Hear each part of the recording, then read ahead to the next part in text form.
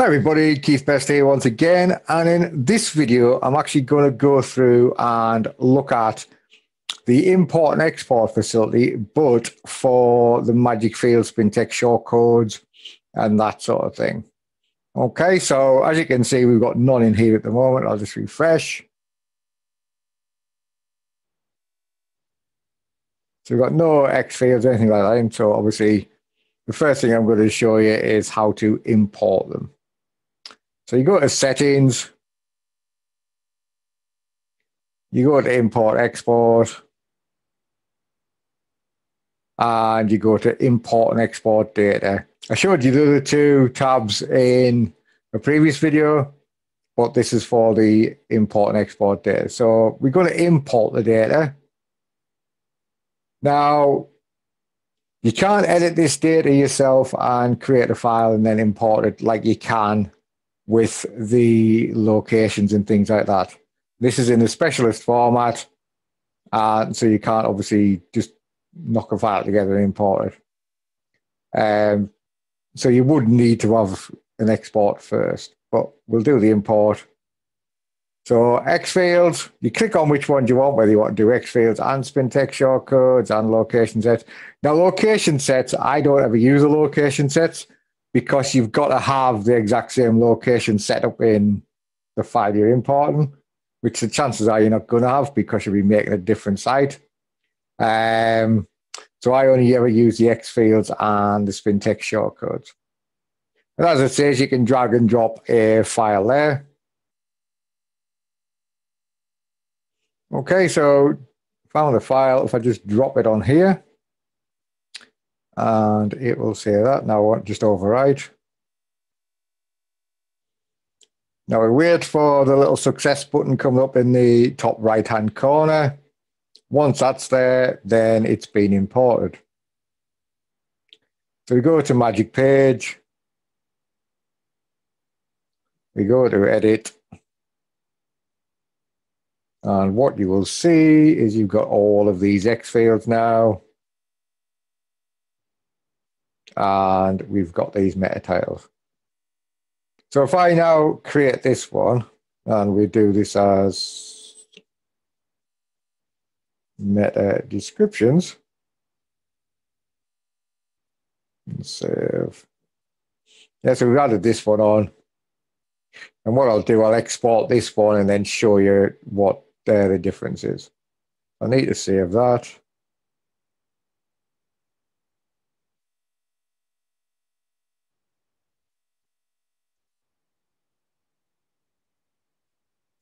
Okay, so we go back to settings. We go to import, export. Now, the reason this is useful is because, like we've got there, I've got a load of um, X fields and Spintax shortcodes. Now, I might not have created this as an evergreen site, but I might want to use them. So what I can do is I can just go to import, export, and now I'll go to export the data. I want to export the Spintax shortcodes and the X fields. So then I do export. It goes away, builds the files, and then says download them. So if I put them into where they're going now, uh, Magic 21st, okay. So if I just do save that, now I'll open the file just so you can see why you can't edit it. Because basically, if we do that, wrong one, if we do that, you'll see that the file is what's known as a serialized file. And to do that by hand would actually be a nightmare. Okay, so that's why you can't really edit them. But if I now go back to here, um, where we've got magic page,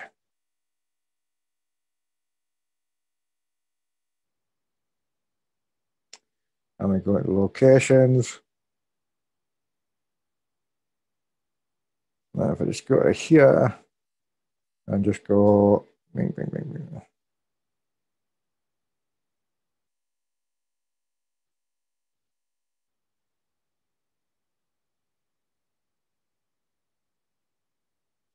Rid of get rid of that, get rid of that.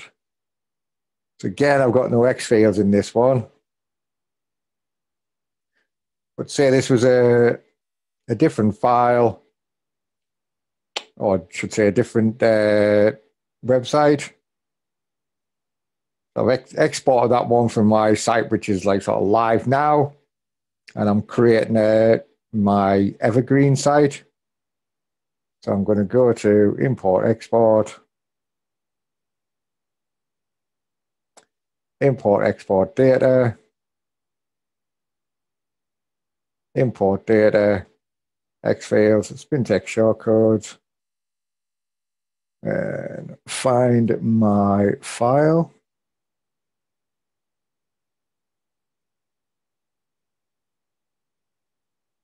which is there. Drop it in. Where it comes up. Override. Wait for the success in the top. There we go. We've got the success. Go to the magic page. And then we can edit.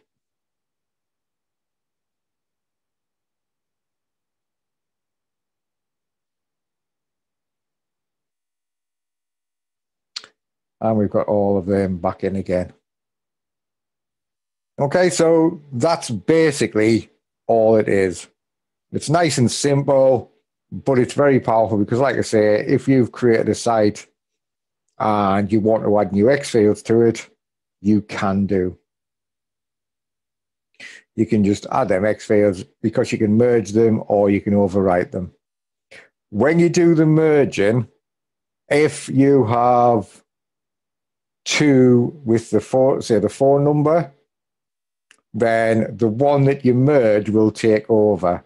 So if this one is one, two, three, four, five, six, and you have another field with the four number of, in fact, let's do it. So if we've got here, let's uh, let's create edit this. So this is two, three, four, five, six, seven and save it. So we've got that X field 4 number. And now if we do that,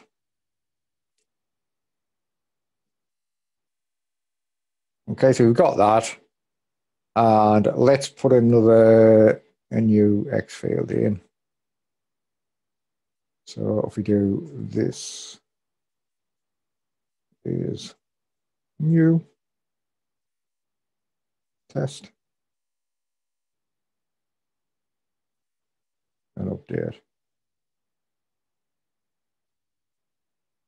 Okay, so we've got that new X field and we've got this number set to two, three, four, five, six, seven. Okay, now if I just get rid of some of these, just so you can see what happens when you do a merge.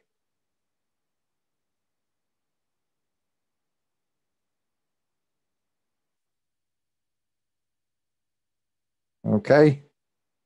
So we've got them. Get rid of that as well. So we've got number and test. Do update. So go to settings again. Import, export. Import, export. Import, X fields, spintax shortcodes. So I'm going to drag the file across again, exact same file. Put it in there. Now this time I'm going to click on the merge. Okay. So we click on the merge. Again, we wait for the success in the top. So we've got success. Magic page. Edit. Scroll down. We've still got X field. This is a, this is new and the test. We've got X field four number, but if you notice, it's now gone to one, two, three, four, five, six but then we have all of these other fields. Okay, so if you've got an existing site, but you want to add new X fields, then this is perfect. The same with the, would be the same with the meta descriptions. Just make sure that when you are adding them, they don't have something the same Otherwise, the one that merges will take over from the one that was there before. Okay, hope that was useful. Catch you on the next video. Bye.